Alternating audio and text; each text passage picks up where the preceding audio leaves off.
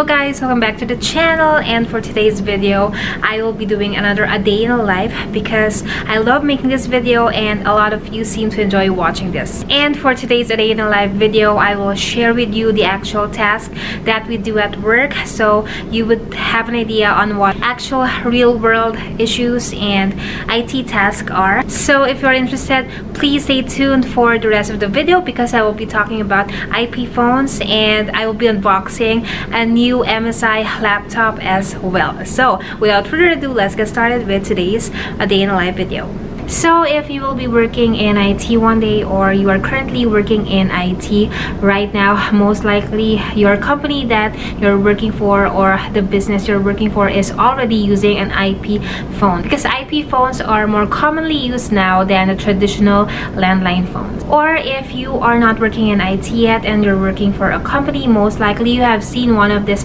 phones or you're using one already. So as an example, an IP phone will look like this. This one is a Cisco phone, but there are different kinds of phone systems out there like Avaya phones as well.